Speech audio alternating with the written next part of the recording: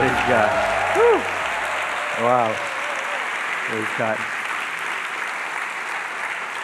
You know, it's very special today because uh, Nina and I are so happy to be home with our own family and with the spiritual family for Chinese New Year. We always are away for Chinese New Year, but this year we got to be uh, home, although no service last week.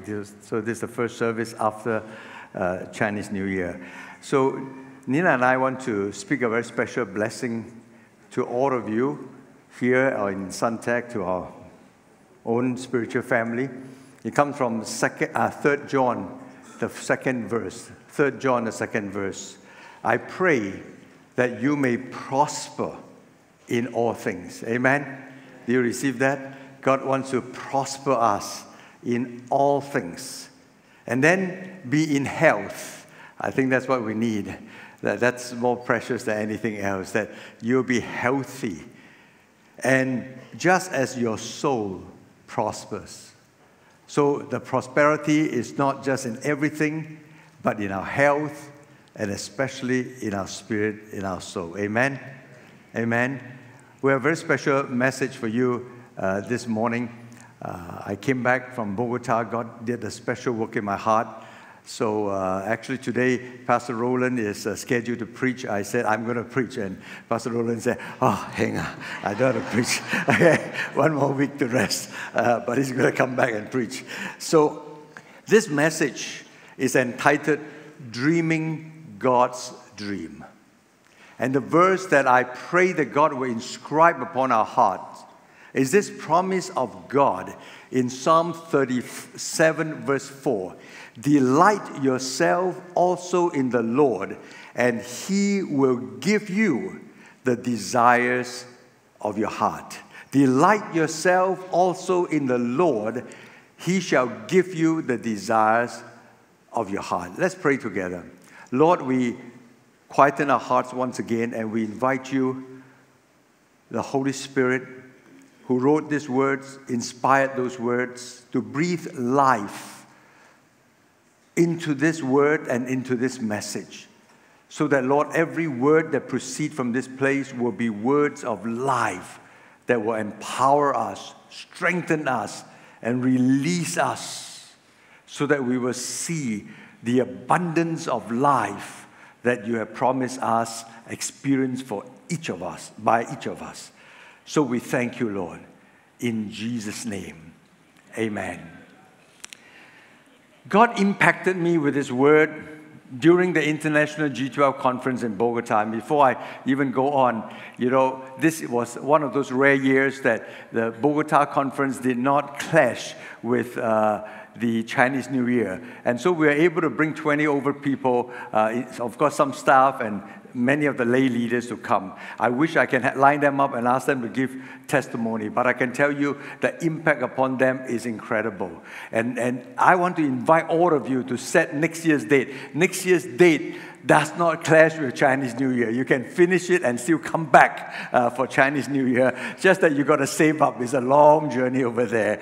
Uh, going to Bogota is to go to the utmost part of the world because uh, you look at the globe, it's like almost directly opposite. You fly for hours and hours, and uh, and it's but it's worth it because oh, if you ask everybody when they saw the impact of G12 around the world, the whole world was gathered. People in Europe, people in Africa, people in Russia, people in U, uh, US, people in Asia, every continent is recommended and uh, is represented, and they are so excited about the G12. People testify of how their lives, how they change, how their own lives are changed, how the church churches are changed, and how the nation is impacted uh, because of the G12. This is amazing. But the special thing that God has shared with me took place in that first lunch that Pastor threw for all the international pastors. And I went to that lunch, and that was like my first meeting with Pastor then. And as I sat down, he began to speak to us, international pastor. And he spoke about dreaming a dream for the multitudes. He talks about the fact that G12 is not about three by three prayer, it's not about life training, it's not about destiny training, although everything there is important. But in fact, he hardly talks about all that. All these years I went, he always talked about dream, having a big dream for the multitude, about a dream about winning a nation and transforming a nation. Now, I want you to understand this. I have heard Pastor for 17 years Every, I've been there for 17 years, and every year I go to the conference, inevitably he will talk about dreaming a dream. In fact, most of the time I don't hear him talk about uh, uh, attending live classes, although those are important. We have a workshop and these are the know-hows. But he talks about dreaming dream because that's the vision. The vision is about seeing the multitude and that you and I can impact the multitude and can transform the nation we are in. And he talks about that. And, and for 17 years, he's always talking. And in fact, I hear more than 17 times because when he comes to Singapore, he also talks about that. And, and that's it. And, and, and there again, after 17 years, I sat there and he comes out and he say exactly the same thing. Pastor has a, pastor has a habit. He preaches the same message until he see people change. Can you imagine for the next three months, every week I'll talk about dreams? And same one, exactly the same message. He said, No point going to lesson two if you don't do lesson one. And that's what he does. He will grill it until it catches and touches the life. That's, that's what he does. So he preached uh, the blood of Jesus for three years, okay, in his own church, until everybody become an expert in knowing the power of the blood. That's it. And, and, that's what he does. He said, This is discipleship. So, what he, he, did, he said, I'm not here to entertain the crowd. I'm here to teach you what it means because it's not about the crowd and the visitor, it's about the people of God becoming disciples of Jesus. So, I hear him talk about it for 17 years. And today, that day, he talked about the same thing. And it's the same illustration, the same story, almost the same thing. I almost can close my eyes and repeat what he's about to say. But God did something in my heart after 17 years. That's why I think He's right. He should keep talking about it until this thing registers. In fact, He's well known for the book the first book that became internationally known that really impacted the world is entitled Dream and You Will Win the World. Dream and you, you can buy in Amazon. Uh, dream and you will win the world. And as I listened to the pastor challenging us to dream a big dream again, but for the first time, I heard the Holy Spirit speak to me. The Father in heaven said to me, Son, do you know that you have lost your dream for your ministry? Do you know that you have lost your dream for FCBC and for Singapore. Somehow the voice of the Lord was not a harsh rebuke, it was, it was a gentle prompting. It was coming from a loving father who jealously wants to guard the dream that he has birthed in my heart more than 30 years ago. It is like a father who said, Don't give up what I have birthed in your heart because God understood that I did not abandon the dream because of disobedience or rebellion. It was because of the setbacks and the disappointments and the failures that I've experienced that caused me to begin to lose faith. And as a result of that, this dream is something I talk about, but deep in the very recesses of my heart, it has faded it is not real. It is not what I used to be believing in it. I feel like I have been. But the Lord woke me up in a new way. The next session, the next morning, Pastor took the first session in the morning. And guess what he was talking about? He was talking about dream. Dreaming a big dream for God and for the multitudes. In fact, he got some of us to stand up and and, and you know, he always, that's why I, I always must attend a session because somewhere if I take one session, you say, where's Pastor Khong? Can you come out? So, uh, and then everybody said, hey, Pastor asked for you. So I'm always uh, uh, ready. But he brought in a number of international pastors. And he make us stand in front of the 10,000 seat auditorium and look at the crowd. And he says, I want you to ask God for a dream. And then he passed the microphone and asked me, asked each of us to articulate. Frankly, uh, last night I reported wrongly. Nina was saying, hey, you know, I, I said I'm going to dream that Singapore will come to know Christ. I didn't do that because at that point I wasn't ready. But I, my dream was for China. So I articulated, I'm going to take the Christmas magic into every major city of China, inspire all the challenges, and I'm going to just bring in that culture of, uh, of Christmas. And one day the doors to give an invitation for the lost will be open, and I will go to every city again, and I'm going to see tens and tens and tens of thousands of these people coming to know the Lord. But anyway, that was something that was birthed in my heart. So God gave me this message today entitled Dreaming God's Dream. And right now, I want to share with you three very important truths that is going to change your life.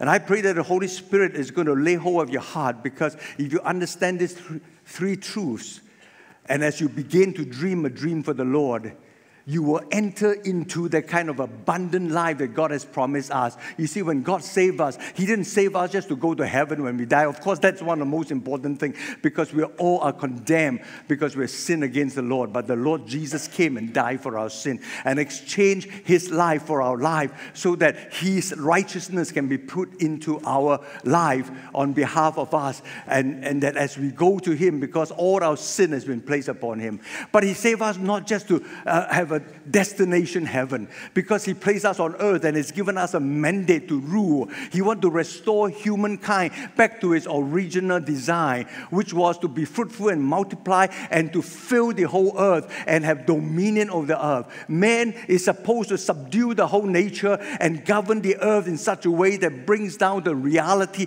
and the presence of God. So, so I, I, I want you to uh, understand that this is what God wants us to do. So I just pray that when you do that and you enter into a dream that God dreamed for you and you begin to see that coming about in your life, you enter into what abundant life is all about. So I want to undergird in your heart these three important spiritual principles that I pray that the Lord will use to launch us into a life of dreaming a great dream for the Lord. It's time for every one of us to have a dream for the Lord and it's time for FCBC to rise up again with a dream for this nation and for Asia and for the nations around the world.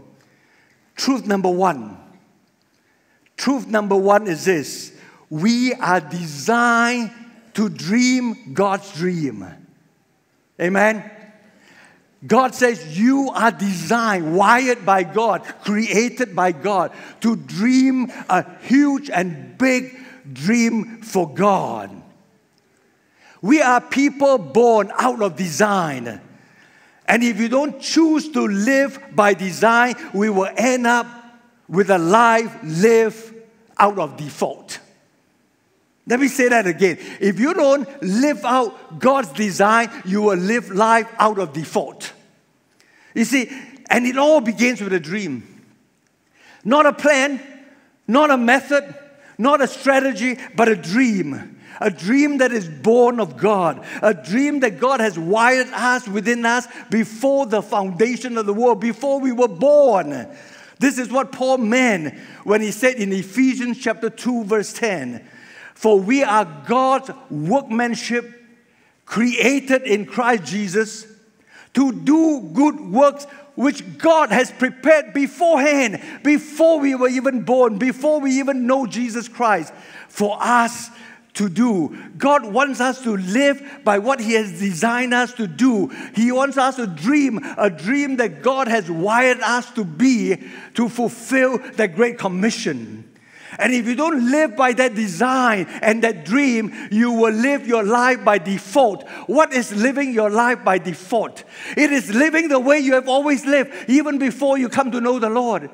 Although you come to know the Lord, your sins are forgiven. But it's possible for Christian to just stop there and never live up God's design, but live by default, which is living according to the ways of this world, which is the same chapter, the earlier verses in Ephesians chapter 2, verses 1 and 2. Paul said, As for you, you were dead in the your transgression and sin, in which you used to live when you follow the ways of this world and of the ruler of the kingdom of the air, the spirit who is at work in those who are disobedient. In other words, you can know the Lord, but your life just stop at there. All you do is that, thank you for forgiving me. And you kind of come to church and do your religious thing and feel like you have done everything. Instead of pursuing the dream of God, the good works that God has designed for us so that we might enter into it. And when we do that, we are living by default, which is what we used to do follow the ways of this world. And what are the ways of this world? It is dominated by the ruler of the kingdom of the air. What is the ruler of the kingdom of the air? Satan himself. In other words, if you don't dream the dream of God, you may be a Christian, you may be coming to church, but you're walking according to the will of Satan. And the Bible says, and the spirit which is at work in those who are disobedient. In other words, Satan is not everywhere, but he assigned spirit, he assigned demons that will direct our ways so that we will never break out of what we were because we're living by default and we have by default surrendered the design of God for our life. And Paul reminded us that we were created in Christ Jesus when we give our life to Jesus, recreated. And in this recreation, God says He has designed for you a dream, good works that He has prepared beforehand that you will walk in it.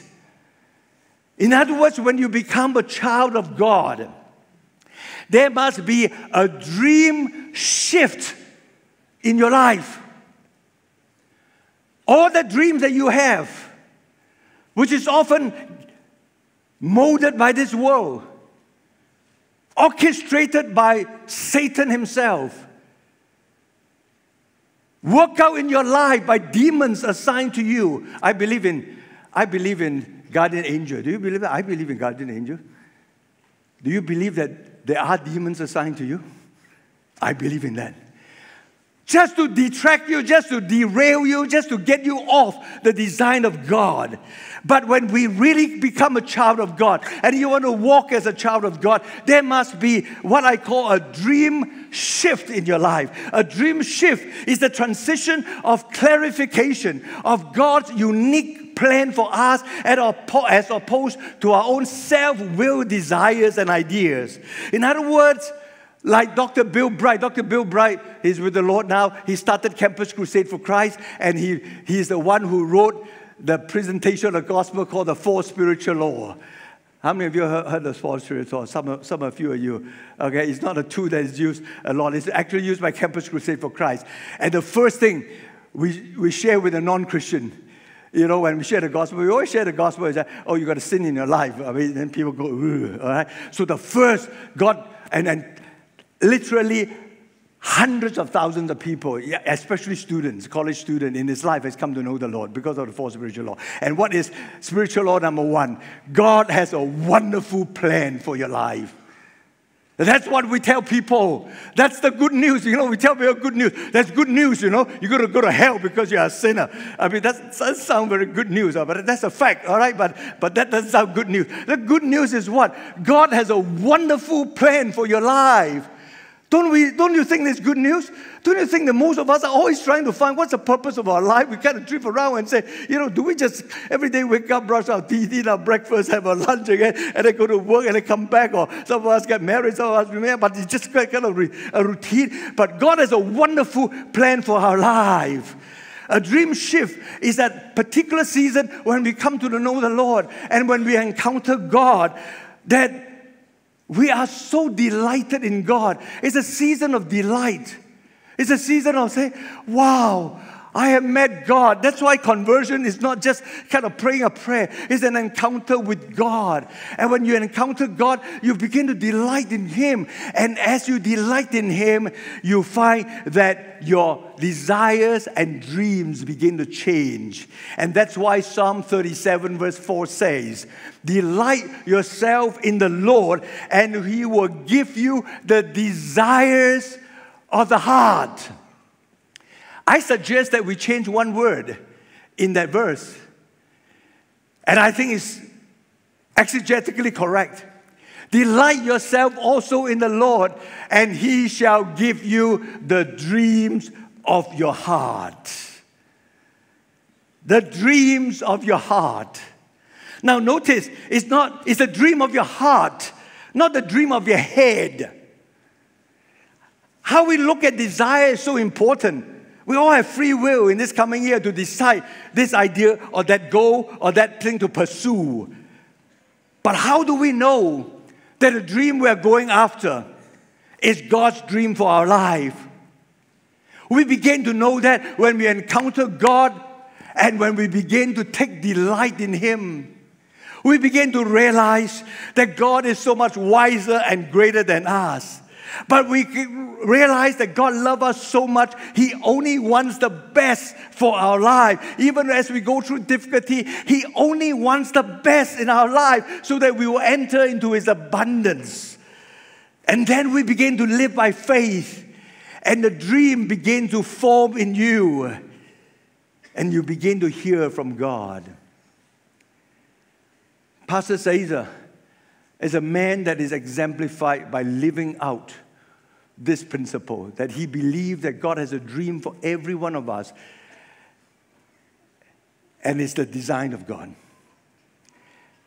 You know, Pastor Cesar, is his life is amazing. When he came to know the Lord, he actually saw Jesus Christ. That's how he came to know the Lord. Because people were witnessing to him, he was a Catholic, he's a Catholic background, but he's never had, a, had an encounter with God, doesn't know what it means to be born again. It's just a religious form that he has taken for years. But then when people start to share with him about being born again and entering into the kingdom of God, one day he said, God, I'm going to test this out.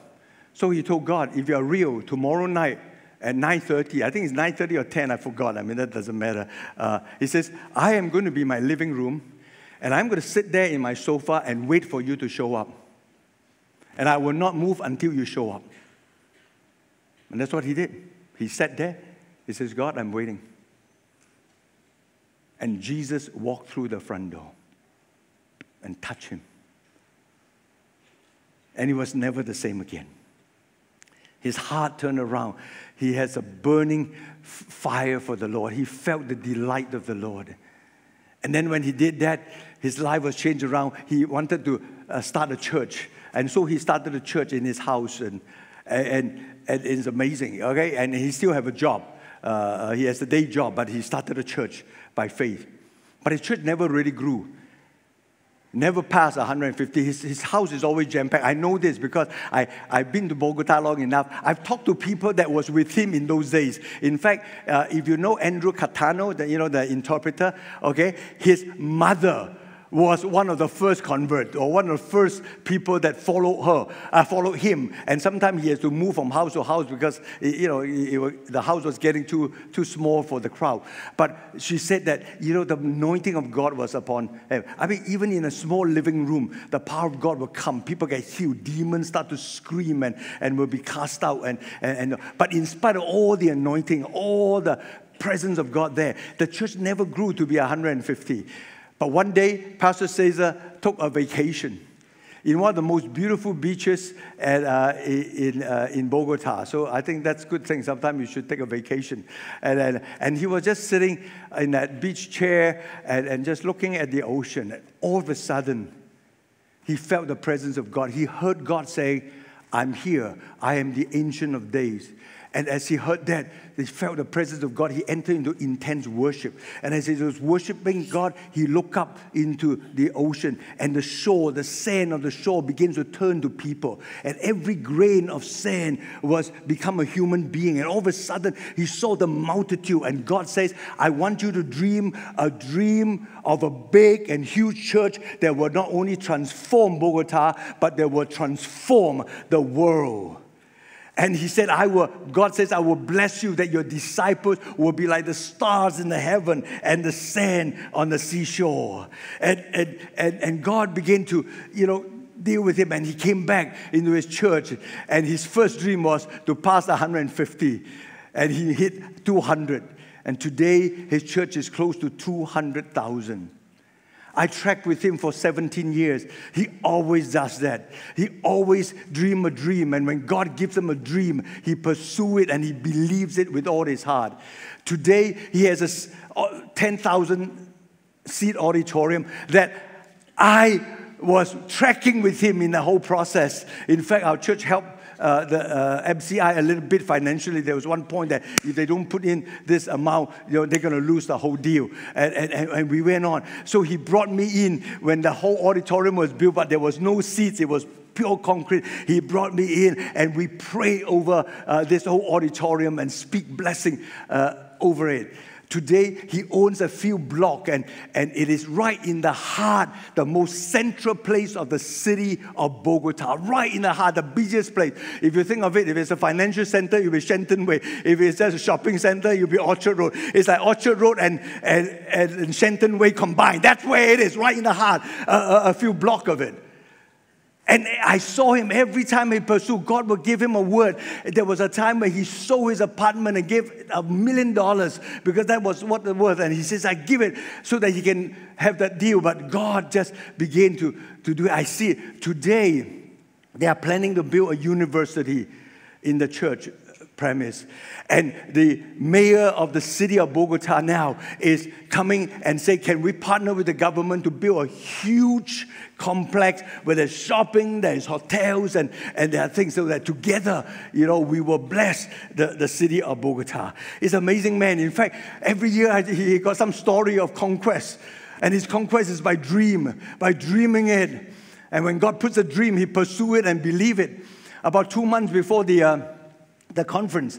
You know, God gave him a dream that he wants to build a mezzanine floor just behind the, uh, the stage of this auditorium so that the international pastors can gather. We used to have a little small place, but it was getting very crowded. International pastors like to kind of hang out with each other as they listen to the conference and, and watch some of the video behind. So it's getting crowded. He said, I want to build one that, that is really huge right behind and, uh, uh, so that the international, because G12 is a family, and I, the reason I go back every 17 years, not just to, uh, for every year for the 17th year, is not just to listen to the message alone, but to be part of the family. People from Europe, uh, people from Paris, uh, what's the pastor's name again?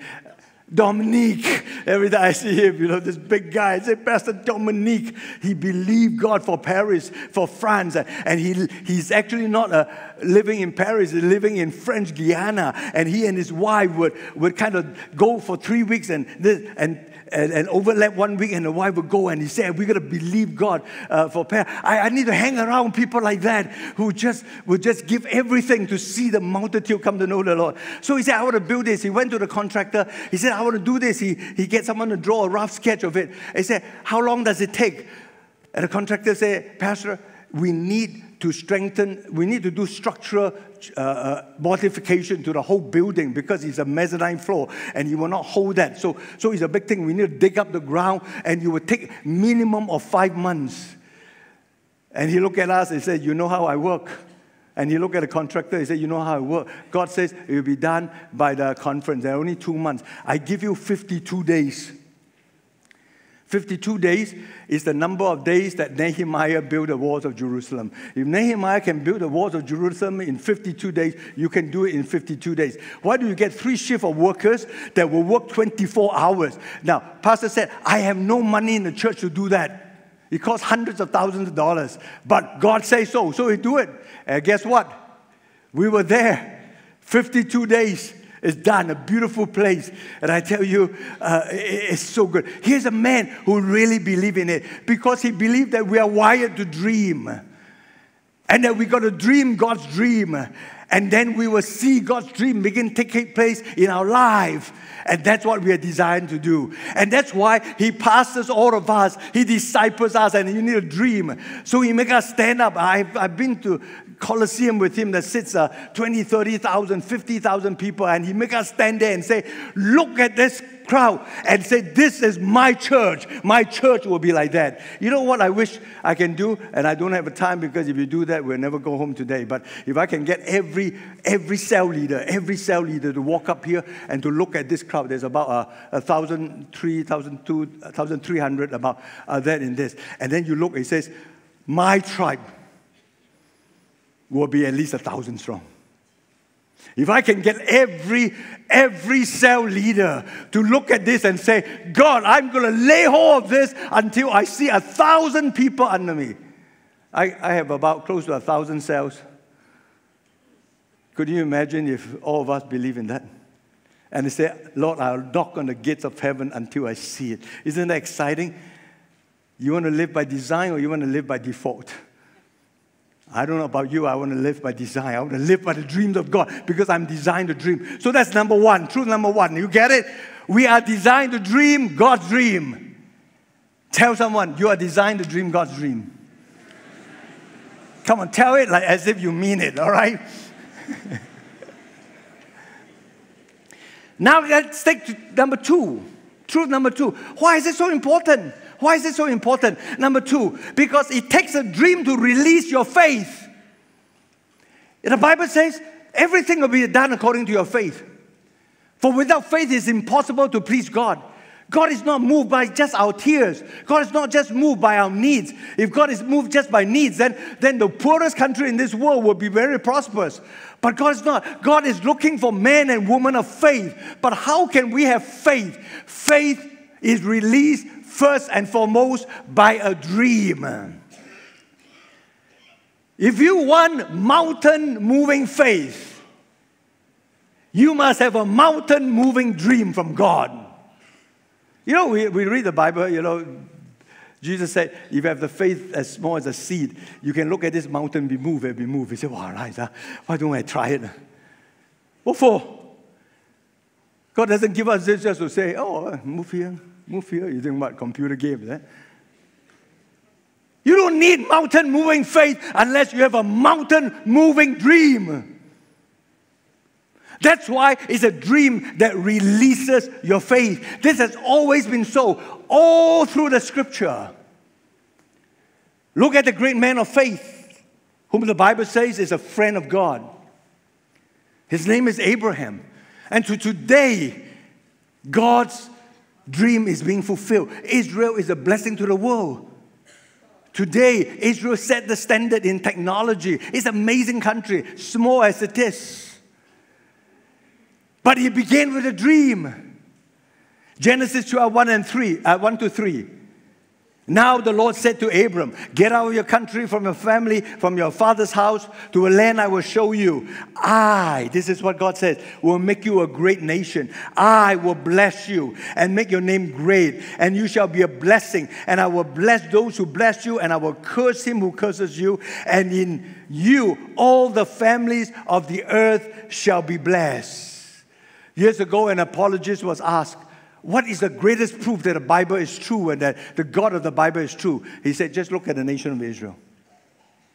Never in the history of humanity, where there's a nation that's been destroyed close to uh, 2,000 years, can form itself again into a strong nation. Amazing, small as it is. And all the nations want to attack them, they couldn't.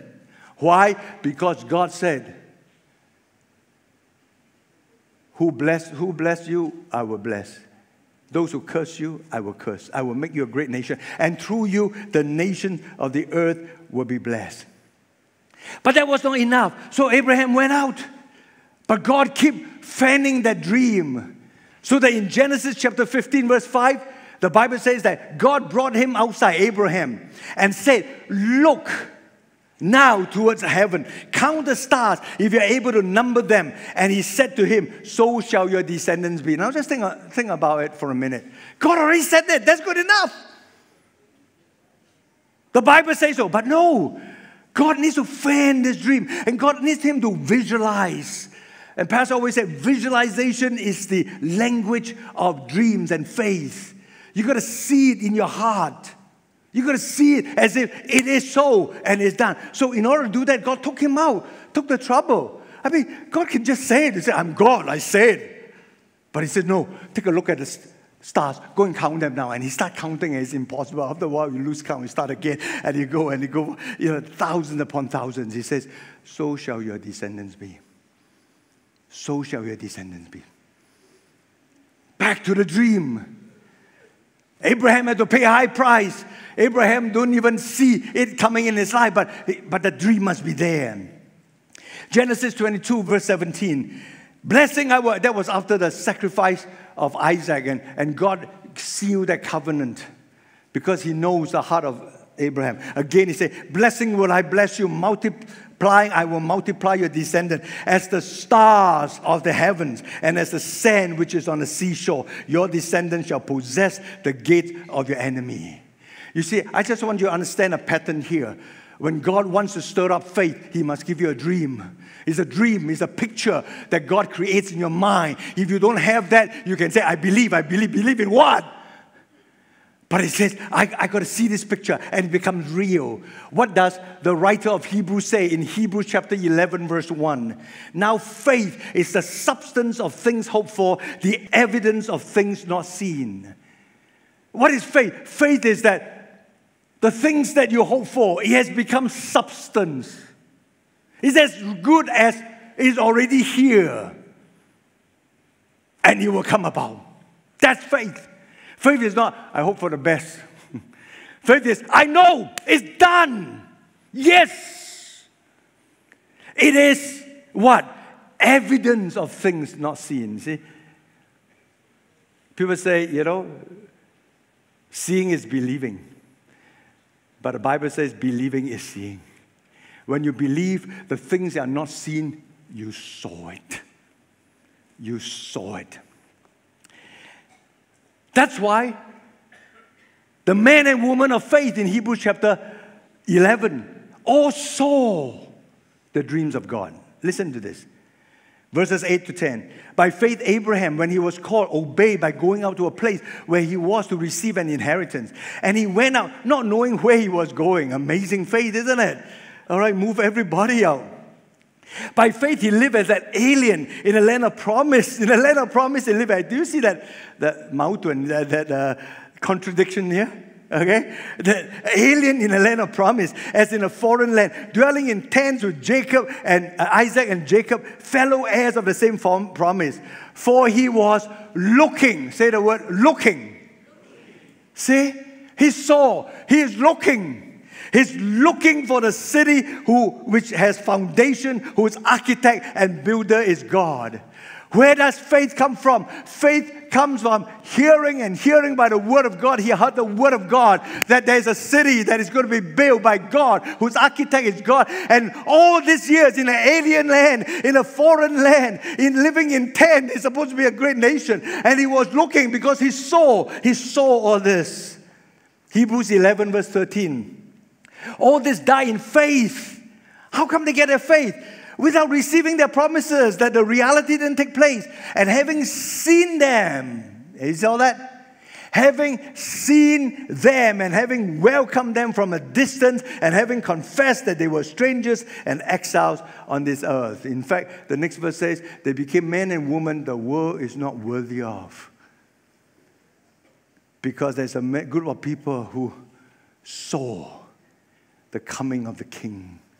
So real that is as good as fulfillment because it has happened. Remember, I shared with you why this, uh, this message because when God when when pastors talk, talk about dream, all of a sudden God said to me, "You have lost a dream for Singapore and FCBC." And he wasn't rebuking me. He knows the pain I went through. And I'm just being bearing my heart with you. You see, do you know why FCBC grew to be from a, just a few hundred member church to 10,000 in about 10 years? Because of cell, yeah, but not really. These are methods. Because of my preaching, well, okay, I mean, I do a decent job, but, but there are better preachers than I have. I do. And I'm still preaching. I don't see this same level of growth. All right? And I'm still preaching. I don't think I'm preaching worse than before. But I tell you what, because I have a dream for FCBC. I have a dream that FCBC will win Singapore for Christ.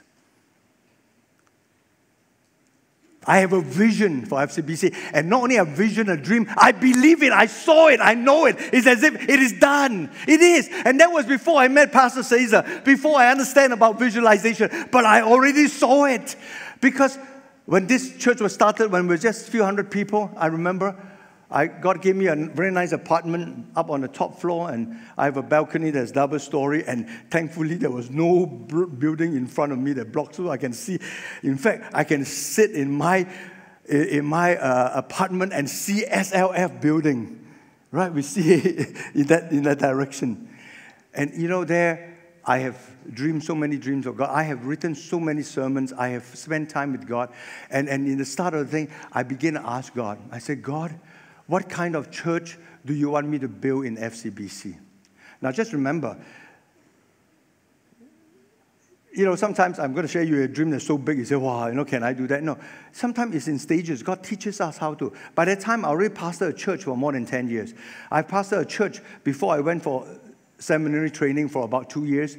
And then in, in, in, in, Dallas, I pastored another church for about three years. And then I came back to my own church. I pastored for more than five years, so, so about 10 years. And, and, and I said, God, what do you want? And God said to me, He said, Son, if you have no restriction, you can have all the money you want. You can have all the resources you want. Tell me what kind of church you want to build. Write it down. And I wrote down the first vision of FCBC. I saw the island of Singapore. And I said, I'm going to build two networks. One network of community service, and that birth Touch Community Services. That was year, uh, two, three years before, even more than that, before Touch Community Services was born. When Pastor Eugene came to me and said, God called me to do this part, all right? And I said, yeah, but I saw, I see a network everywhere, just covering Singapore. All right. And then I saw another network of cells in every block covering Singapore. And that's discipleship and evangelism. And when we touch the community and uh, there's a group of disciples and these two merge, we're going to win Singapore for Christ. Now you may say that's too too arrogant. You know how can a church, one church, win Singapore for Christ? Well, I don't think so. I need all the churches. Hence, love Singapore. But I God said to me, everybody's job is nobody's job. You know, oh, win Singapore for Christ is every Christian job. So therefore, I don't have to do anything. So they become nobody. Somebody, one church had to say, if nobody is doing it, we will do it. We will stand before God, accountable to God for the salvation of Singapore. What does that mean? We don't really know. I don't think it's going to be 100%, but it's going to be such a significant thing that the whole nation is shifted Godward towards Jehovah. I had a dream I wrote it down. It was a dream that I would build a, a school that would train pastors for the region. And we saw that dream come true. We had uh, seven schools, six or seven schools around the world teaching pastors how to do cell church. And then we're going to plant 50 church by the uh, uh, end of 50, uh, uh, the end of 2000, 2001. And, and Pastor Caleb was a mission pastor. And he actually came at that year and said, we did that. We did that. Not every church is my church, but, but we help really small churches to become, become you know, really a viable, uh, a growing church. And I had a dream. And that dream was so real that I shared with FCBC in those days.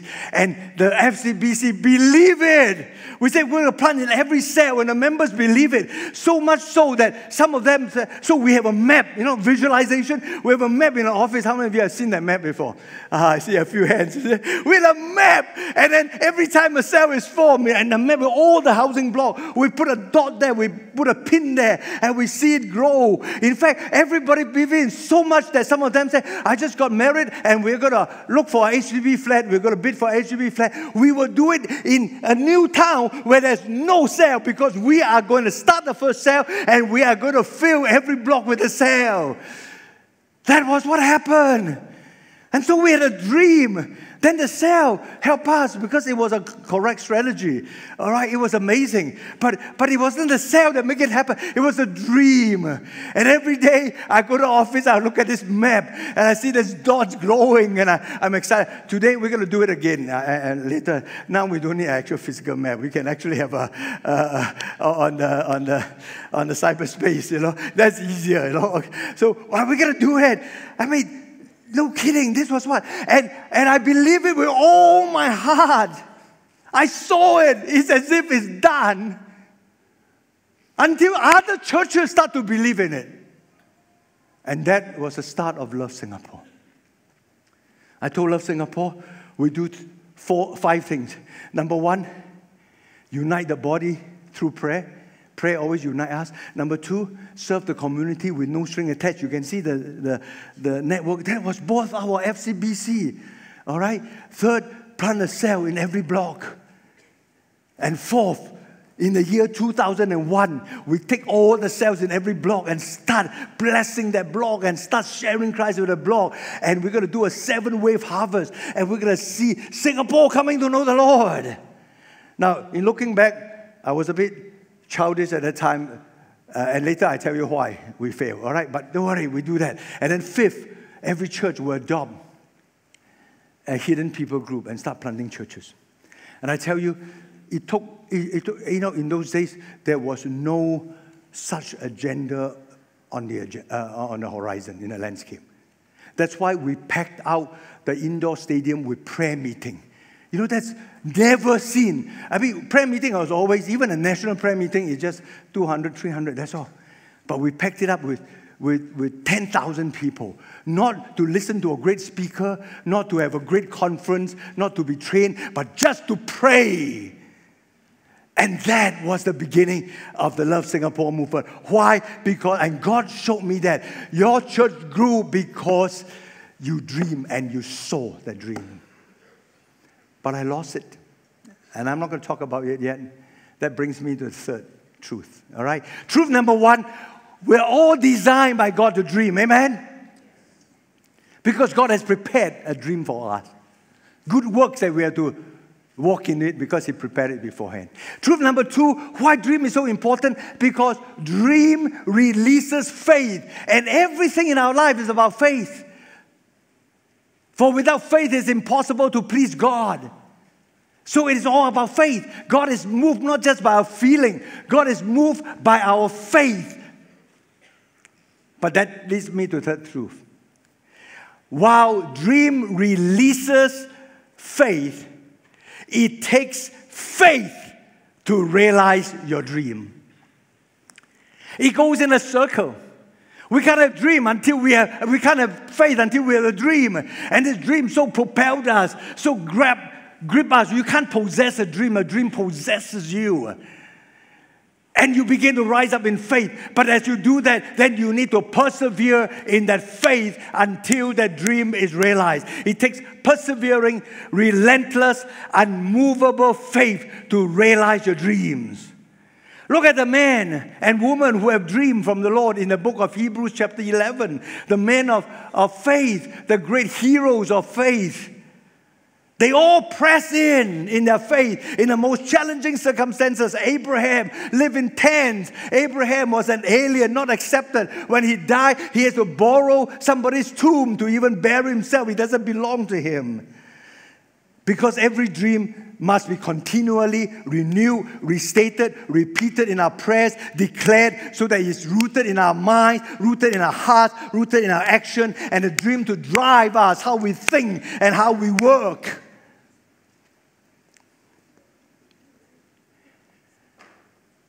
Last night's anchoring pastor is Pastor Melissa. The husband is Guan Han. They are both of them are pastors. Melissa went through a difficult time. She had a miscarriage. And the second time she was pregnant, she has a stillborn. Stillborn is worse than miscarriage because miscarriage, you don't just see it, it's gone. But when you have to birth some, a child that is dead in the womb, it's tough. And, I, and Nina and I felt so bad about that. So Nina and I decided to bring Guan Han Guan Han wasn't a full-time pastor yet, and Melissa, of course, you know, I challenged him to respond to the Lord, you know, but, uh, but I just felt like they need some healing, they need some rest, they need some just, just getting away. So we, we, we, we took them to Bogota. And at the end of that, both of them catch this idea of dream. Melissa came home for one year. Every day in her prayer time, he will, she would talk to her womb and will say, You are going to give me a, a son. And in fact, God revealed that you'll be a son. And then every day she would talk to the son in the womb, every day. Hey, mommy's here. Hmm. You're going to grow up strong. And you're going to be a blessing to this family. And you're going to be a proof that God is a great God of love. And every day she spoke that. Every day she visualized that. Every day she declared that dream that God put in her, in her heart. And after one year, Noah was born, the first boy. Now they have a second child. And so she testified that this dream works.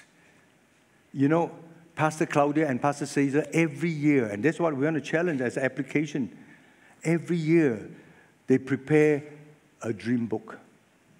And each page, one page will be about the church, one page will be about the international man, but she has a page for every member of the family, every daughter, every son in law. Now she has about eight, I think the eighth grandchild is coming, okay? And, uh, and she said, I have a dream for, and, and Pastor, Pastor Claudia is a, uh, is an art and craft person. So she has this thick book, you know, and all, every page got pictures, lah, got cartoon, lah, got, you know, all sort of thing. But, but she said, oh, I look at this first granddaughter. I know she's going to be a great dancer. She's going to be in the arts. And Lord, I, I see that she will be used greatly. And I declare that none of the things of the world is going to take her away into deception, but she will form a new influence in the arts. This person, you know, is so good. She's going to be a scholar. And I believe that you will give her.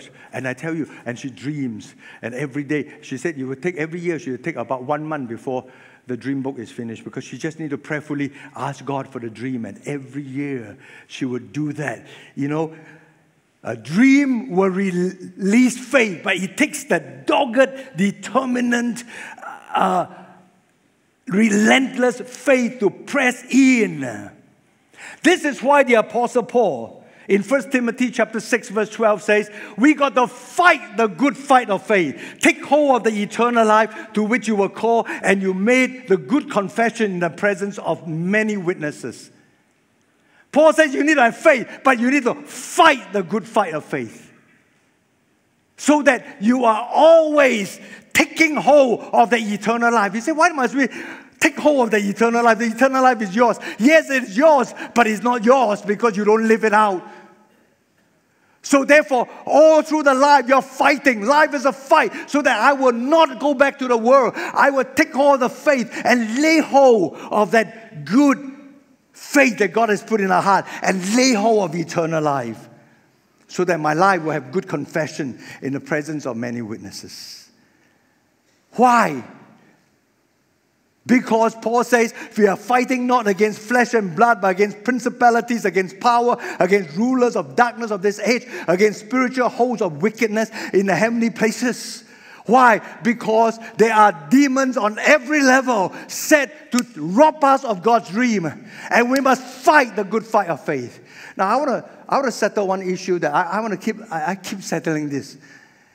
You know, every time, you know, there are people who left our church, and it's okay. Because we are called to build disciples. True disciples, it's tough. You need to fight. You need to fight every day. But there are many people who say, oh, you see, that's not, you need to have a restedness. You know, I, it's not from one sector, everybody. You know, our trouble in our churches, we just we just fight and fight. Oh, we're so tired. We just could be rested. We, we shouldn't feel so pressure, you know, because where the Spirit of God is, there should be liberty. And, and I can tell you, this kind of teaching is not biblical. Not only is not biblical, it doesn't produce spiritual greatness. It does not produce spiritual greatness at all. But it's good. People like to hear it. So recently I was told of a sermon that, that uh, some people was listening to by a particular preacher about Solomon and David. And, and in this sermon, it says that, you know, the reason God chose Solomon to build a temple is because he's a man of peace. You see, we want peace. Whereas David could not build a temple because he's a man of war. So God was happy with Solomon because Solomon, you know, has that restedness. You don't understand restedness. I tell you what is restedness. Restedness is right in the middle of the war where everybody's dying and you're about to die and you are rested. Now that's restedness.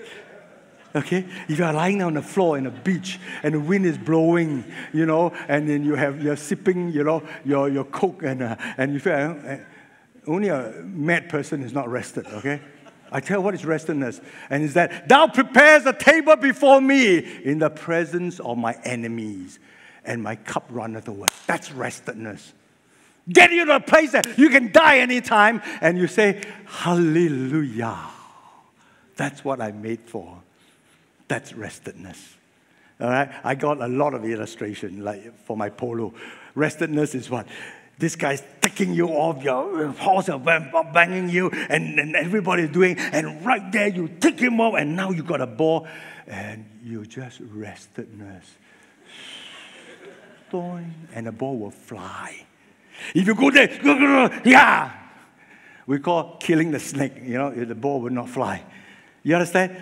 Have you thought about golf? Golf is all about restedness. It's about after three days of tournament, and you are just one stroke down to go. And this is the opportunity. And, and, you, and if you stand there and say, I got to hit it well, man. I got, you're not going to hit it. You go,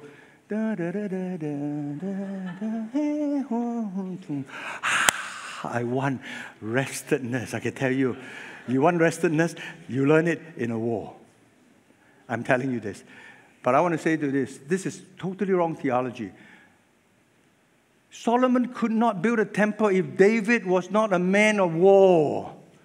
He fought the kingdom. But I know God says, visually, I want someone that is not associated with all this war so that my temple is always associated with peace. That's I understand that. But God never called Solomon a man after his own heart.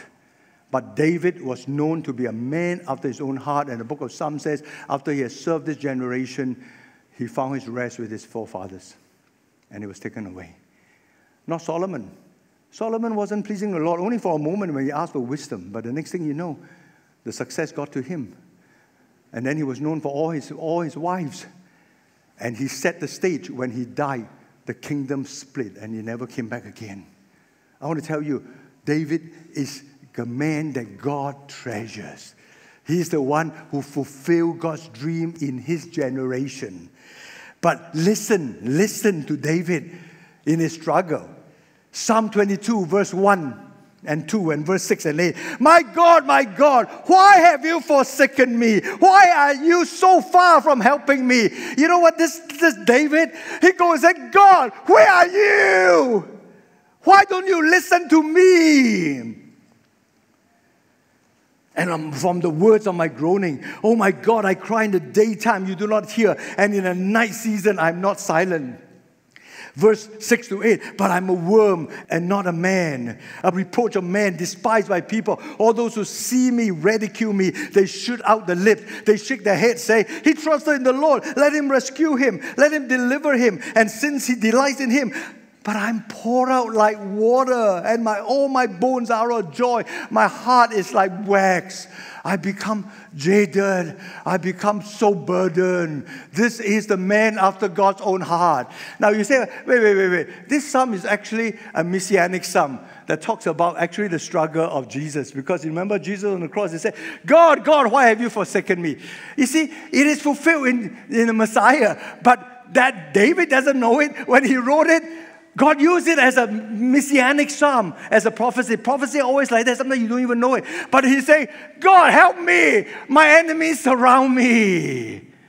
Now, you say, no, no, no, no, no, no. This is the Old Testament. Old Testament, Jesus didn't die. In fact, Jesus came and do God's will. He had a dream of the redemption of the world. I mean, that's what he did. He said, God, why have you forsaken me? He has to fight the fight of faith.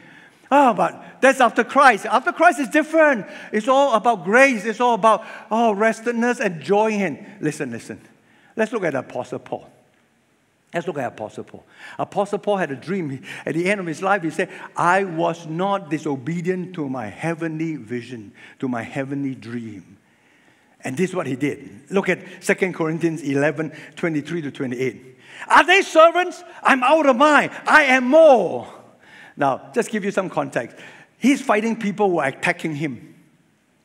Other servants of God who said that Paul is nothing, like he went to jail, that he must have sinned against God. You know, a good man will never go in there. Okay, we are the servant of God, and he has to defend himself. He says, if they are servants, and he said, I must be, oh my, I mean, I, I'm stooping to their level. But, but anyway, I'll do it, okay? But I'm more. Let me give you my credentials.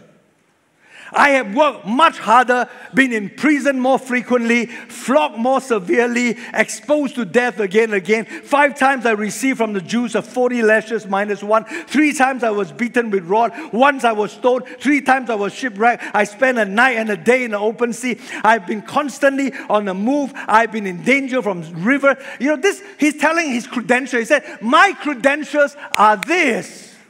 I've been to China in those days of revival. You know what that credential is? They will compare. You know, how many years have you been in seminary? The seminary means, when they say 神学院, means prison.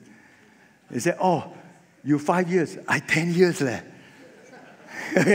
I 10 years. All right? So, so he goes and he says, I've been constantly on the move. I've been in danger from rivers, in danger from bandits, in danger from our own countrymen, in danger from Gentiles, in danger in the city, in danger in the country, in danger at sea, in danger from false brother. That's the one I like. Okay? That's why in, in Love Singapore, when we first started, our fellow pastor, we don't call each other brother. Because every one of us have been hurt by brothers. You know, hi, brother, and then go, Ugh.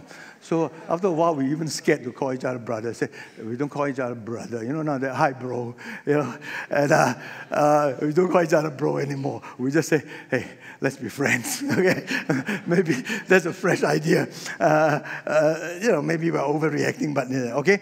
I've labored and toiled, have gone without sleep. I've known hunger and thirst, and have gone without food. I was cold and naked. And uh, let me believe me, when all these things happen, he's not going, oh, I'm really having a great time. You know, it's great. He's having a hard time. And let me tell you this besides everything else, I face the daily pressure. He lives in pressure, daily pressure of my concern for all churches.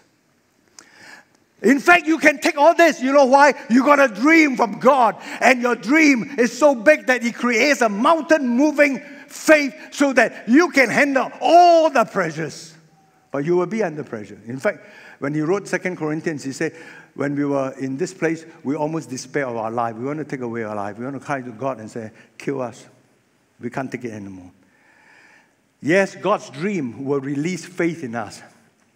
However, we must continually allow faith to work in our life because it takes that kind of faith. That's what I'm training you guys. The kind of tenacious, fearless, fighting faith that press in only for the dreams of God. The kind of faith that will realize that dream. Now, listen to me. Now, I share with you why I lost my faith. That was my problem. I lost my faith in 201. Some of you know. I said 201 is going to be such a great harvest, and, and the whole Singapore will come to know the Lord. In fact, we debate is it 60%, 80%, 90%, and so forth. But it didn't happen. We booked the National Stadium. It was not only it was not even half half half filled. It was maybe a quarter filled. All right. Many things happened. One of my best friends, who is a pastor, committed adultery, divorced a wife, married someone of another faith. I mean, that really blew me out of the water. I mean, that really kind of shook me up. These are my core leadership. It, it broke my heart so bad.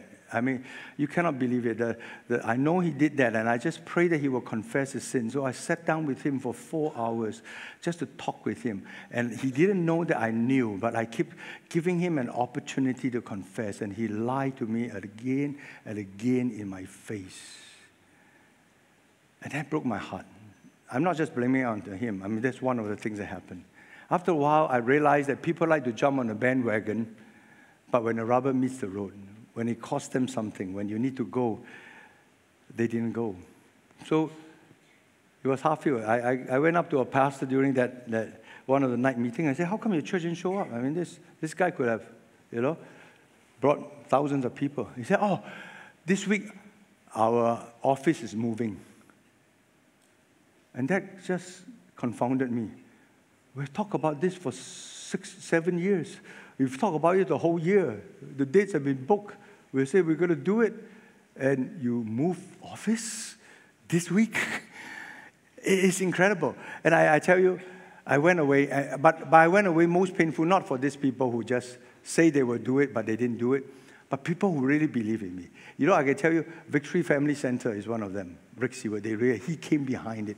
The other one is Pastor Derek Hong from Church of Our Savior. He came behind. In fact, at the end of 201, he looked at me and said, Pastor Khong, ni haisuola because our people believe it. In fact, some of our people believe it, and in fact, some of his church believe that the revival will come. Some of them actually quit their job, ready to be a pastor, because when the harvest comes, they say, I want to pastor a church. But it didn't happen. And, and uh, and last, this year, Pastor Press Summit is very good. I interview all of them, and Pastor, Pastor Derek said, I follow you. I, I mess up my church. You know, I da, da, da, da. So he tell everybody, and then I say, that's, that's terrible, Derek.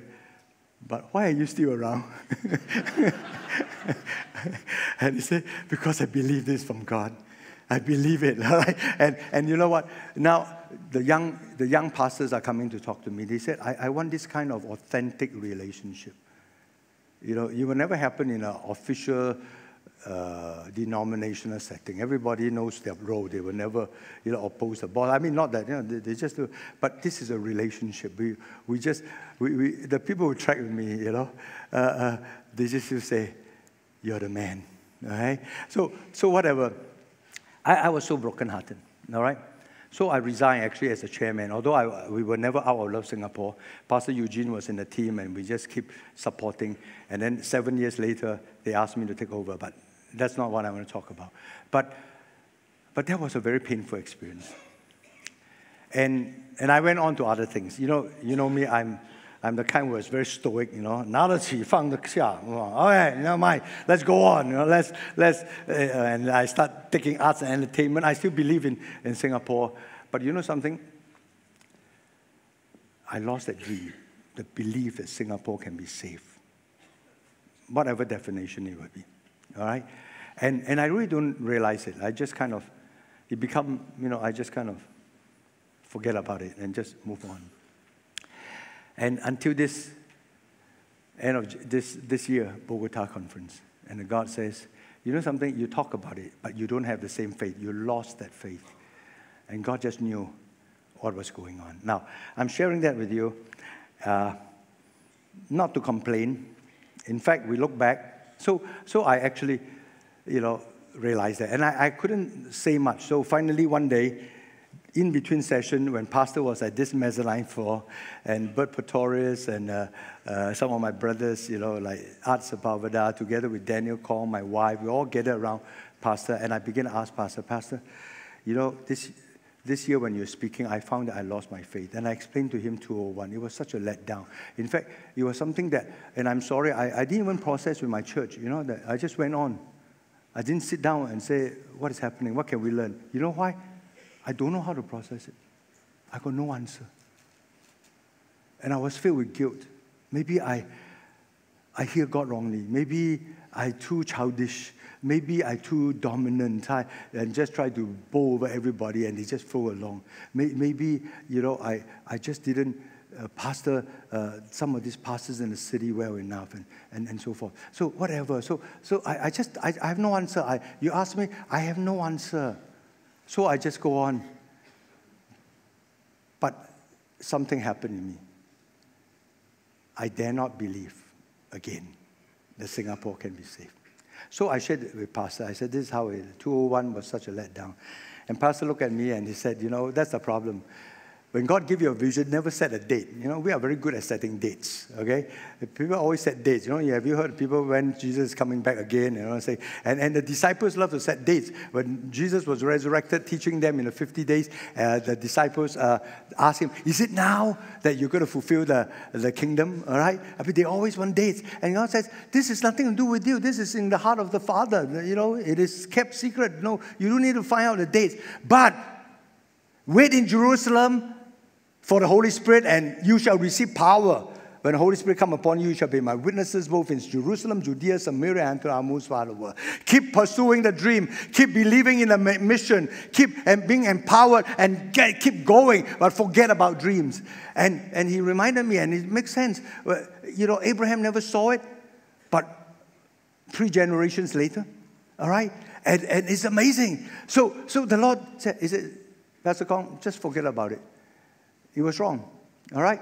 But I want to say this to you. The dream to you never died. God's dream for you is still the same. You're going to believe God, the Singapore will be one for Jesus Christ. Why? Because the calling and the gifting of God is irrevocable. He shared with me, he says, You know, Pastor, I don't talk about this often, but I've seen Jesus himself. In fact, Jesus, in one occasion, has taken me up into the very throne room of heaven, and I saw the angels and the worship and so forth. And then I came back just fired up for God. But, but you know, I always ask God, God, why can't I go and see this again? God says, not necessary, once enough. All right? And God is saying, when He gives you a dream, that's a dream for your life. That's the dream that He wants you to pursue. So go and pursue the dream. Hence, this message. I'm just telling you this that I lost that dream. And you know, when you lose that dream, the things you do becomes meaningless. And that's what happened to FCBC. Because I don't dream, you won't dream. You won't see it. And because you don't see, wow, another activity, another another harvest event, and uh, three by three, okay, and uh, uh, we have to do this training and that training. But all this become meaningless, and you become drained, and you become tired. You become tired because there's no dream behind you. The fire of God is not there. The dream, the passion inside you is not there. But I want to declare that today God wants us to dream again. Amen. God wants us to dream again. Like Pastor Claudia, have a dream book. I want you to go and have a dream book. Have a dream book for yourself. Write down every member of yourself and start dreaming. Write down the worst guy, you know, the guy who's always come late, always complain, always never show up, always do already, still complain and cause division. Now you dream. You dream that he's going to be a great man of God. He's going to have a dream of God and his life is going to change around. Start dreaming that dream. Isn't that what God does? He did that to Gideon. You know, Gideon was a big coward. The Midianites were around. He didn't want to show up in the public. He hid in the wine press to, to beat his wheat, you know, to winnow. This is something you do in the open where there's wind to blow away the husk. He does it in a confined place. And the angel of the Lord appeared to him and said, You valiant warrior of God. And this guy go, huh? Me? Where? And who are you? Me? But that's what God does.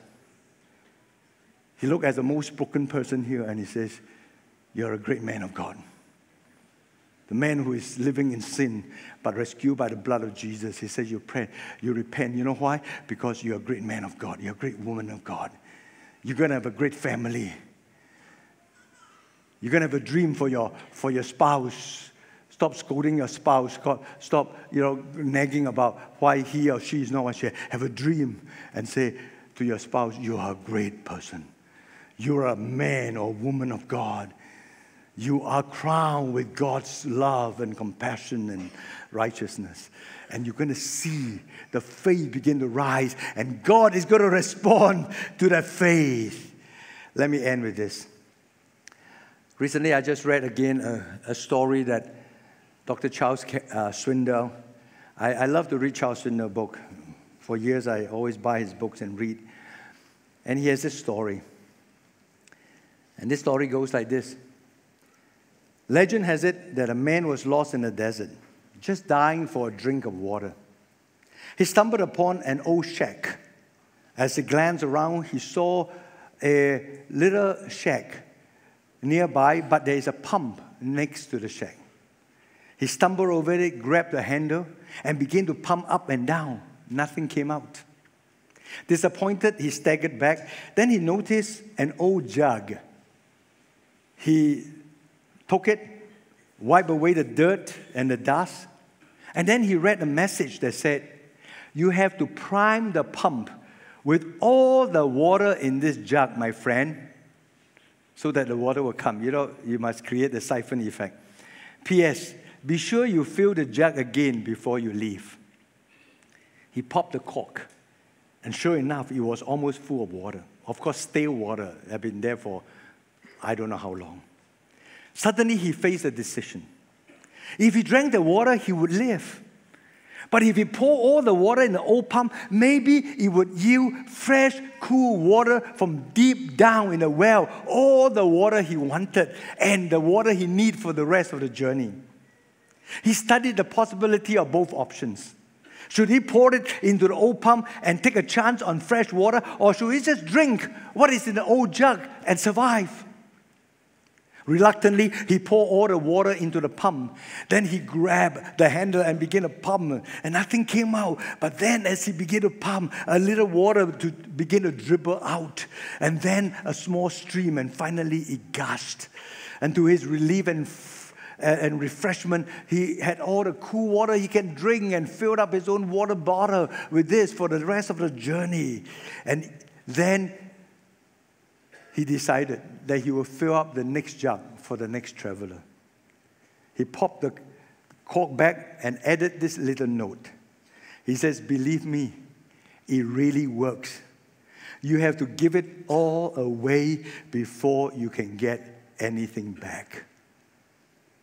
Are you going to ask God for a dream where you're prepared to give everything away in order to realize the dream that God has given to you? Are you willing to risk your time, your identity, your life? You know, when I start to rally the churches in Singapore for unity, it was a joke because my credential is I was fired from a church and I was one who split the church. And for me to do that is like, it's like ironical. But are you thirsty enough today for the great things God has for you to take some risk? Let me come back to that verse and I'll finish. Psalm 37, verse 4. Delight yourself in the Lord, and he shall give you the dreams of your life or of your heart. Without a dream, doing G12 is meaningless. The three by three prayer is meaningless. It's only a chore. It's not done in faith because it's a dream that keeps our faith alive and all these things meaningful. The life classes, the destiny training, they're all just methods and strategies that have no life. But it's a dream that keeps the fire going. It's a dream that stirs up the faith that makes everything comes alive. And this weekend, I'm calling, and as I was sitting there, I just thought about this. You know, I have a number of people that come to me, good, good leaders, I mean, in a very nice way, come to me and say, Pastor Khong, will you reconsider not doing the, the prayer tower?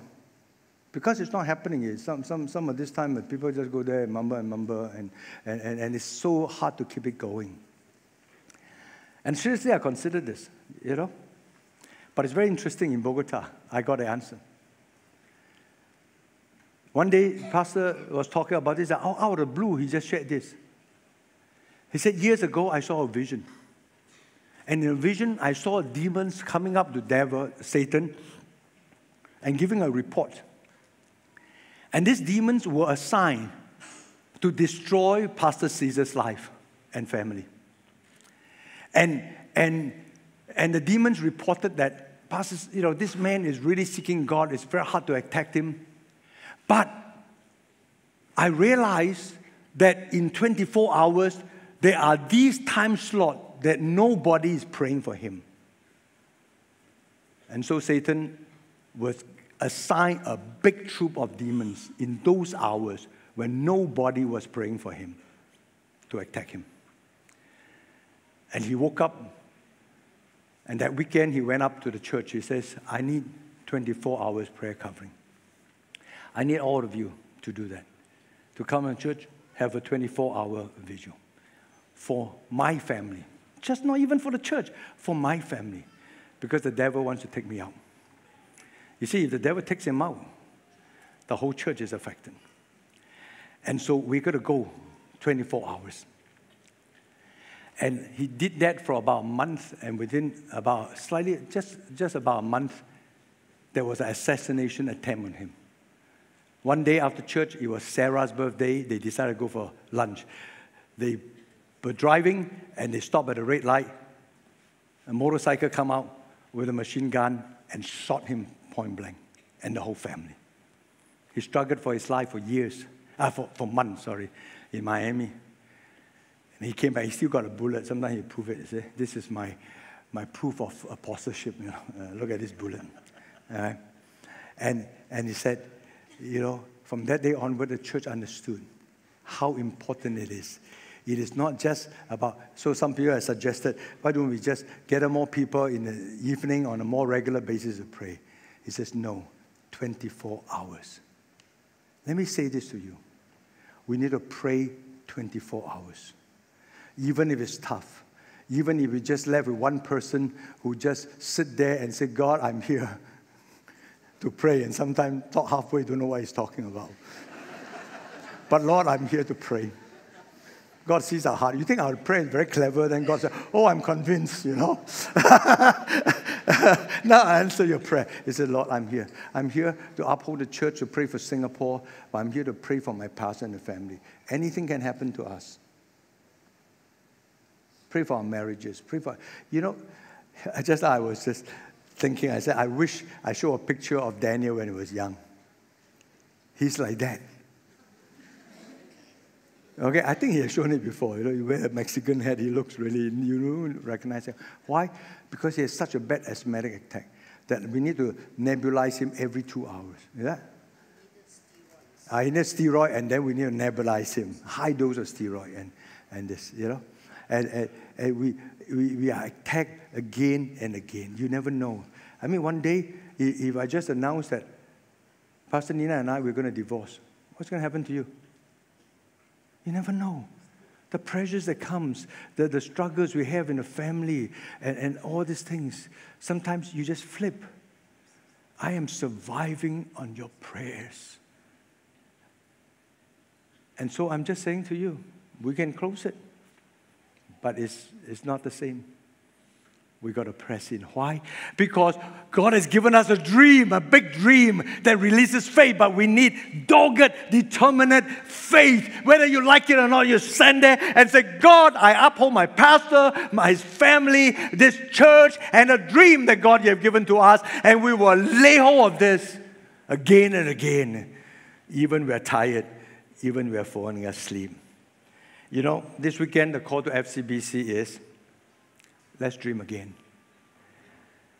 Your pastor have asked God to forgive me.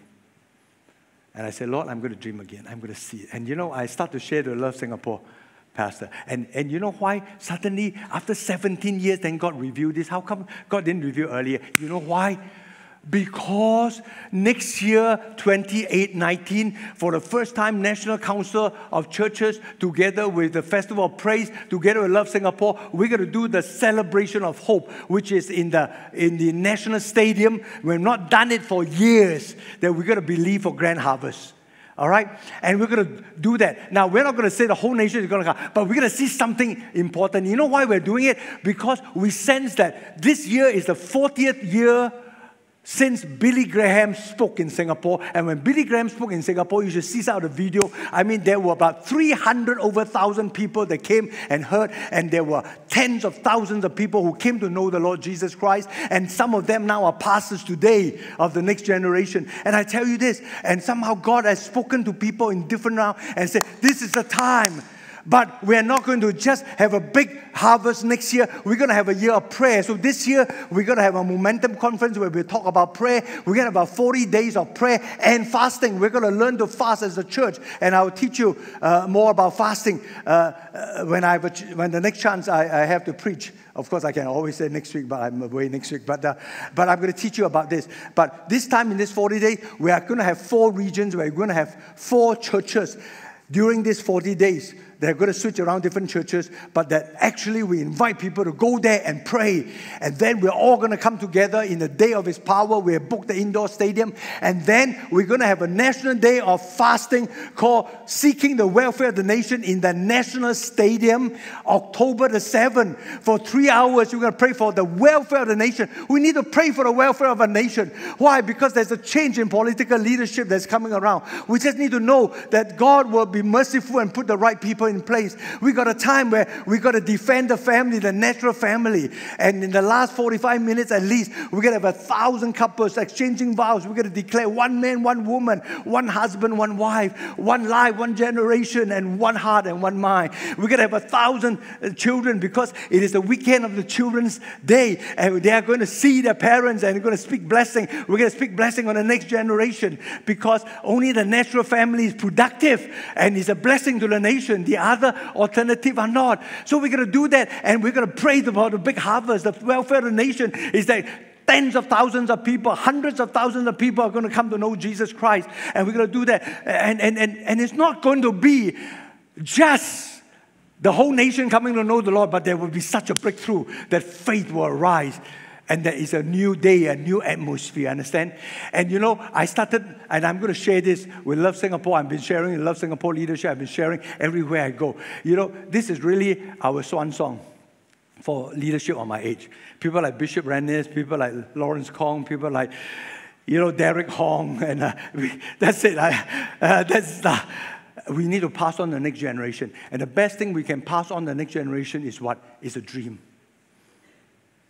It's a dream that a former generation have that continue to go on, and that dream is going to stir the next generation into faith, and it's going to pass on to the next generation. Why? The time is now. That's why God spoke to me, not because of just me, but because of what is at stake that we're going to make disciples, and FCBC will rise up again. Pastor Pastor Cesar rebuked me. I said, I want so much unity. I say, God, use every church in Singapore, even if they become bigger than mine. I'm willing not to be the biggest church in Singapore. He looked at me and said, Why? You should ask God to make FCBC the biggest church. Oh, the sense of competition. No, no, no, no. I realize now. You know what? How to stimulate each other good work. If you are a pastor in our church, I want to be a bigger church than you. But we're such brothers when we're bigger. He will say, Wow, good man, Pastor Lawrence. I tell you, I'm going to be bigger than you next year because I'm going to win more people to Christ. This is called, you know, it's like, it's like playing games, you know, good friend playing, playing a squash or soccer. Wow, you beat me this time. Huh? Next time I'm going to beat you. But we're not, we're, we're not trying to outdo. We're just trying to stir each other to love and good works. Understand? Okay? Is that better or is that Oh, you lose, ah, that's good, no? Helps you with humility. And then, oh, next time I'll lose again. Why?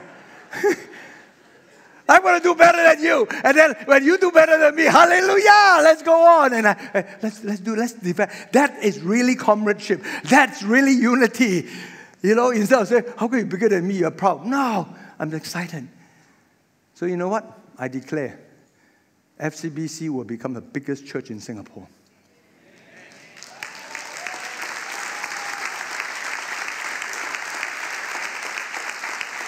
Because it takes this kind of faith to take the nation. And I pray that someone say, No, I will be bigger. It's okay. And then we're going to win this nation because it's about God's dream. You understand that? You know, God is so good to us. God is so good to this nation. He's jealous for our destiny. There was a prayer meeting in Penang of a group of intercessors from all different nations in Asia, Philippines, Thailand, and so forth. And they were seeking the Lord, and nothing was happening until I think it's a Filipino, I, I, I can't remember, Pastor Eugene told me that, stood up and lead in a prayer and cry out to God because it was time to pray for Singapore. And he cried to God and said, God, give us the Antioch of Asia, which means Singapore, because that's the prophecy. And when he said that, the Holy Spirit came upon the whole place. And people just felt the presence of God, and prayer began to rise. And they prayed that Singapore will become the Asia of uh, uh Antioch Asia. You know why? Because if Singapore does that, it will become a blessing. You see, Asia needs the different country to rise up in their dream, in their God's given role. And when we rise up to be what it is, is a blessing. So the other nations is pleading that we will rise up to become the Antioch of Asia. And when nobody does it, FCBC will dream that dream. And if we are not fulfilled in our generation, I'll pass it on to the next generation, Daniel Khong. And if it's not fulfilled, Daniel will pass it to the next generation. But we're going to believe that Singapore will turn to the Lord Jesus Christ. Amen. Shall we stand?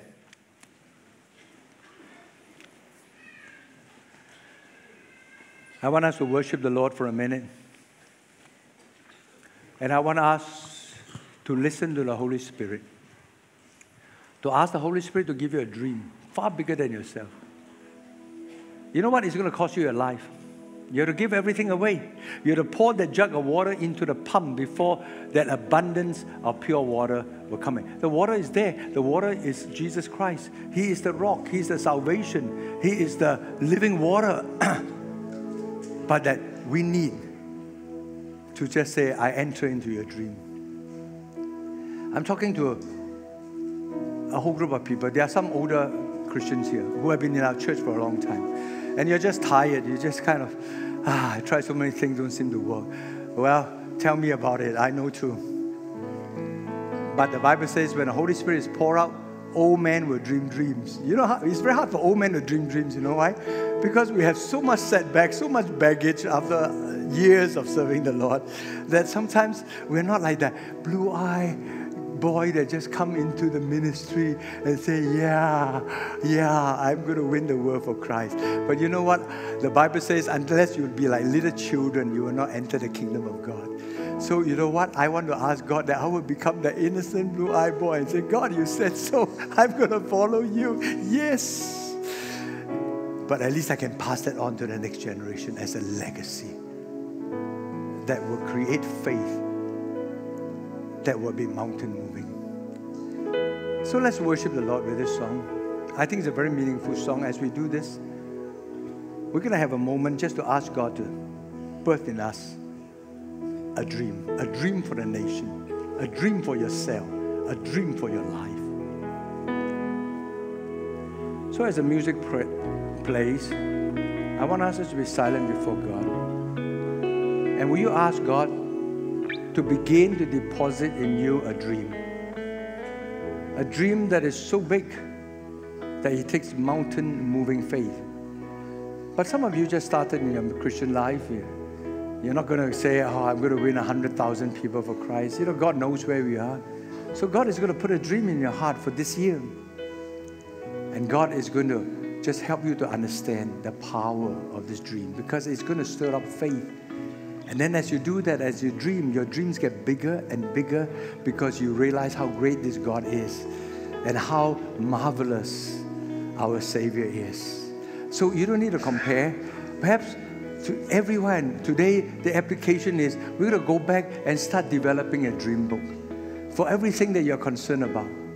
Then for your career, for your life, for your health, for your spouse, for your children, for your cell members for yourself and say, Lord, I'm going to look at this dream and I'm going to articulate it, I'm going to declare it, I'm going to reinforce it, and I'm going to ask God for the faith that could equal this dream so that we can move the hand of God. Because it's God that fulfilled the dream. We can't do it. It's not just by working harder, but when we are stirred up by God, we will work because God empowers us. And I want you to do that, but can you start right now? If God say, if God has touched you with this word, it doesn't matter you fail. I fail. We are flesh and blood. Someday, when the glory of God comes, none of us, including myself, will dare to say, Oh, it's because of me. But you know, God is so gracious. He will always let us dream again. And that dream is irrevocable. So let's press in and start dreaming. So, just for a minute or so, Ask God to begin that dream. And sometimes God might just put a dream in your heart. Some, sometimes God might rekindle a dream that God has given to you. God has given you a dream that was real to you, it is not revocable. God has that for you. Start pressing in right now. So as the music play, just ask God. I just give you a minute just responding to this word.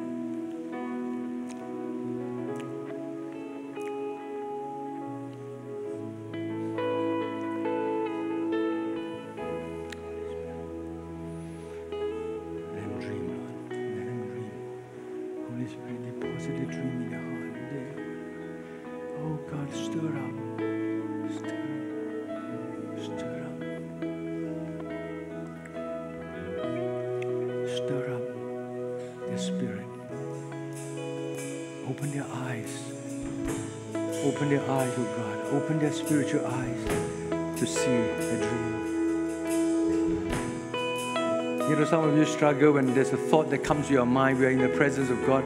You always struggle. Is that God's dream? It's just my desire. But you know, when we take delight in the Lord, your desire and God's dream just come together. When this church was built, God actually asked me, What is your desire? If you have no limitation, what would you like to do? And often that desire is God's dream in our heart. So, so stop arguing that, otherwise you'll never find it. And, and if you're wrong in some way, God will correct it. He's always able to do it. But now just, just tell God the desires of your heart. It's going to take everything to make that dream come true faith. And those in Suntec too, God is moving. Don't just live life by default. Don't live life just like everyone else, the ways of this world. It's okay, God will prosper us, but, but, but it's not just for that, it's just for God's dream to be fulfilled. Now I'm going to pray for you. Those, who, those of you who say, Lord, I want to dream again. I want to have a dream for the kingdom of God to come, for the revival of Singapore, for thousands who come to know the Lord. If that for disciples, that I will make disciples more than I could ever imagine. If that's who you are, raise both of your hand. I want to speak a word of blessing. Raise your hand because you mean it. You say, I want to dream. I want to dream that dream. That dream of God. Lord, I want to pray for those just like me who has been disappointed, setbacks, and uh, after a while that dream fades, fade away. Sometimes we lose someone close to us. We lose a, a, a co-worker who, whom you're counting on. Or perhaps some setbacks and some disappointment or, or some blockages just come in that, that, that just, just kind of put you in, in, in a trap. And the Lord just set you free right now. And the Lord said to you, I love you. I forgive you for whatever failures in your past. But this is a new beginning. So, Lord, deposit that dream. Cause them to dare to dream again. And Lord, I pray that in the weeks to come, you're going to put dreams in their heart for every area of their life. And they will walk into the abundance that God you have given to them. And then I pray that they will become extreme disciples, willing to lay it all out so that they will drink of the living water that is fresh, that never runs dry. The Lord bless you. The Lord calls you to dream about yourself and you're going to see that beginning to happen in the coming year because God is giving Singapore a second chance. God is giving FCBC a second chance. And the Lord wants us to rise up again, learning from the mistakes of the past, but rising up and say, God, we are going to see your kingdom come. Father, thank you, Lord. In the mighty name of Jesus. Amen. Let's thank the Lord. Those in uh, Suntec to thank the Lord. God bless you. You are dismissed. Turn to a few people and say, We're going to dream God's dream together. Shall we say that? Turn to a few people and say, We're going to dream God's dream together.